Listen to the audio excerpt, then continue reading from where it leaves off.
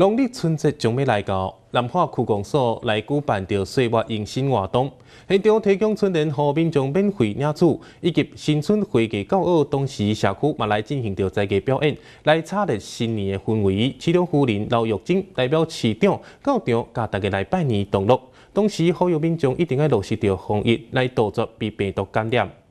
农历春节将要来到，南华区公所趁着假日举办岁末迎新活动，现场邀请各中小学校、社区发展协会进行才艺表演，来采热迎接新年氛围。市长夫人也代表市长来甲大家同乐，并且向南华乡亲拜年，也呼吁民众伫过年期间一定要更加落实防疫，来杜绝被病毒传染。尤其是要过年啊，大家拢足欢喜，我们来到老热的哈啊，最后。代替市长祝福大家有新的一年，有新的希望、新的气象。那像老虎小刚爱安那嘞，做勇行，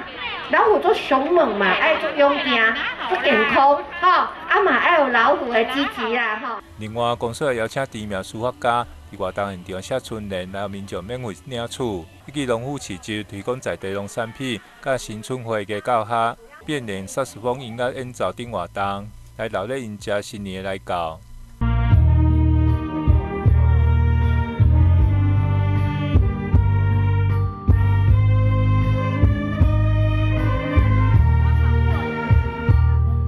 咱个活动呢，阮主要就是舞台舞台区的表演，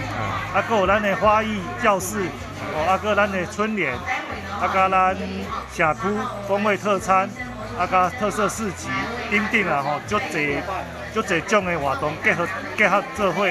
啊嘛足感谢咱市长夫人吼，当拨时间吼来到咱南华遮参与参与这场活动，啊遐长辈时代看到夫人来拢足欢喜的，啊足感谢市长，我那会足重视咱山区。